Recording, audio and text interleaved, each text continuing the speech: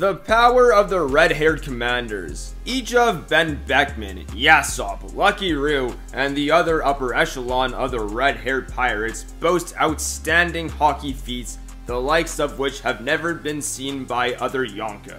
Yasopp was inspired by yours truly. Because Homie never misses, his observation haki is the best in the verse. Lucky Roo is the son of Sonic, and in my opinion, he's the fastest man in One Piece. While Benn Beckman is a seasoned pirate, feared on the same plateau as Shanks. And every red-haired officer falls under the same umbrella. That's why they're the strongest crew in One Piece.